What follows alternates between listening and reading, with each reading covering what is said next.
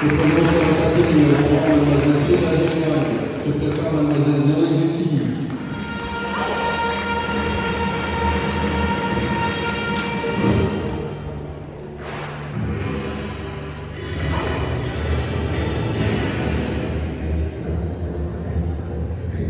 ចូលចិត្តលេងគង់ហ្វូព្រោះតាំងពីទូកមកខ្ញុំធ្លាប់មើលរឿង Jackie Chan គាត់អ្នកល្បីលេងគង់ហ្វូខ្ញុំឃើញពីគាត់ធ្វើហ្នឹងស្អាតខ្ញុំមិនរៀនគង់ហ្វូសម្រាប់ចេះអឺ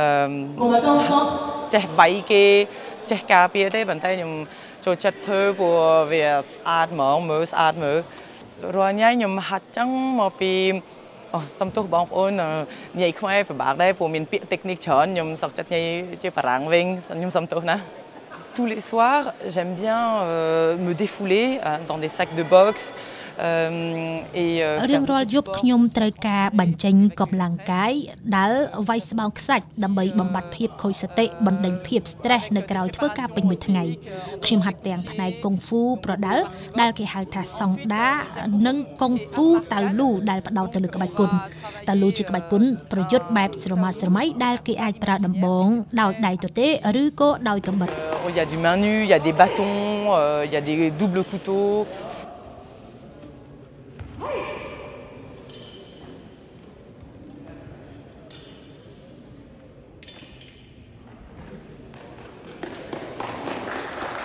តាំងពីខ្ញុំទូមកខ្ញុំធ្លាប់មើលរឿង Jackie Chan គាត់អ្នកល្បីលេងគង់ហ្វូប៉ុន្តែតាំងពីទូមកម៉ាក់ប៉ាខ្ញុំគេមិនអោយលេងនៅផ្ទះទេព្រោះគេថាកូនស្រី កូនស្រីមិនត្រូវហត់លោច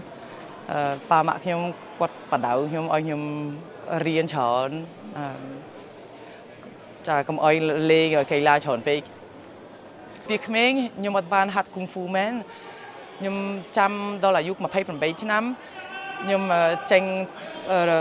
រៀនពេទ្យហើយខ្ញុំបានហាត់គង់ហ្វូ ខ្ញុំមិនហាត់គង់ហ្វូមកពីចង់វាយគ្នាចង់ការពារមែនទេខ្ញុំចង់ហាត់គង់ហ្វូព្រោះវាស្អាតដូចអាអាម៉ាក់សៀលខ្ញុំចូលចិត្តលេងគង់ហ្វូព្រោះការងាររបស់ខ្ញុំ stress ច្រើនខ្ញុំជាបាលជាបាល30នាក់មួយថ្ងៃខ្ញុំដល់វះថ្មិញមើលគេច្រើនដែរខ្ញុំកាត់ stress ដោយសារហាត់កីឡា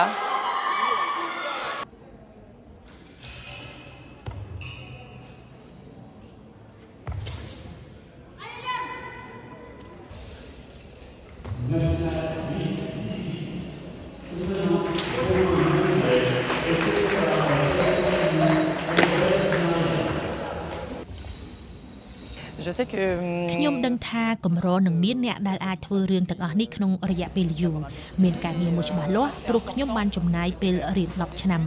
តាំងពីតូចខ្ញុំបានរៀនភ្លេង musique ប៉ាម៉ាក់ខ្ញុំគេទុកឲ្យខ្ញុំលេងភ្លេងតាំងពីទូចមកពួកគេថាល្អលេងភ្លេងល្អខ្ញុំចូលចិត្តខ្ញុំបានខ្ញុំអរគុណប៉ាម៉ាក់ខ្ញុំព្រោះខ្ញុំបានលេងភ្លេងតាំងពីទូច អឺ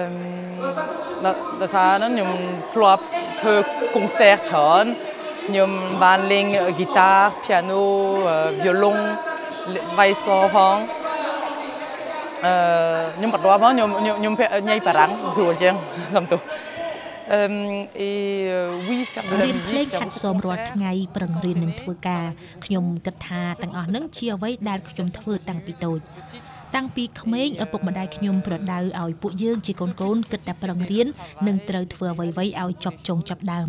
បើទោះបីជាពិបាកខ្លាំងប៉ុន្តែការអប់រំទាំងអស់ហ្នឹងបានជួយឲ្យខ្ញុំបោះជំហានទៅមុខខ្ញុំសង្កេតឃើញដែរថានៅក្នុងសហគមន៍ខ្មែរឬនៅក្នុងគ្រួសាររបស់ខ្ញុំផ្ទាល់តែម្ដងហ្នឹងគឺមិនសូវមានធ្វើរឿងច្រើនយ៉ាងដូចខ្ញុំនោះទេ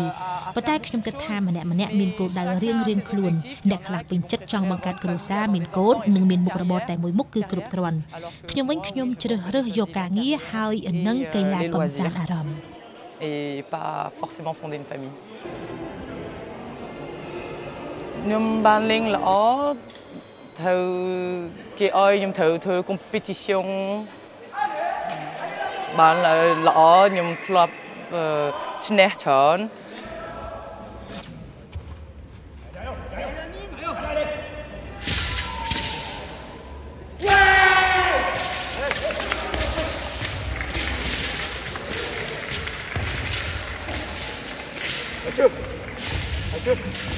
Décision J'aime bien travailler les deux techniques ខ្ញុំចូលចិត្តបច្ចេកទេសទាំងពីរគឺកងហ្វូតៅលូនិងសង់ដាដែលជាកីឡាប្រដាល់ចិន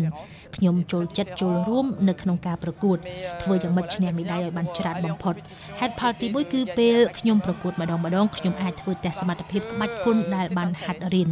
យ៉ាងហោចខ្ញុំអាចប្រាប់ខ្លួនឯងថាខ្ញុំហាត់ក្បាច់គុណកុងហ្វូដើម្បីឈ្នះមេដាយនៅក្នុងការប្រកួតវាសំខាន់ណាស់ដែលគេត្រូវកំណត់គោលដៅសម្រាប់ការធ្វើអ្វីមួយបើសិនគេហាត់ ដោយគ្មានគោលដៅច្បាស់លាស់នោះគេពិបាកនឹងមានទឹកចិត្តបន្តហាត់រហូតដល់កម្រិតមួយខ្ពស់ណាស់ខ្ញុំផ្ទាល់ទៅថ្ងៃអនាគតខ្ញុំចង់ធ្វើការនៅក្នុងសហព័ន្ធចង់ធ្វើជាអ្នករៀបចំការប្រកួតយើងនឹងមានទឹកមាត់ប្រៃនិយាយទៅគេស្ដាប់ច្រើនបើសិនជាយើងនឹងធ្លាប់ហាត់ធ្លាប់ចូលរួមប្រកួតទទួលបានមេដាយដូច្នេះវាសំខាន់ណាស់សម្រាប់ខ្ញុំដែលត្រូវចូលរួមប្រកួតនិងឈ្នះមេដាយឲ្យបានច្រើនបំផុត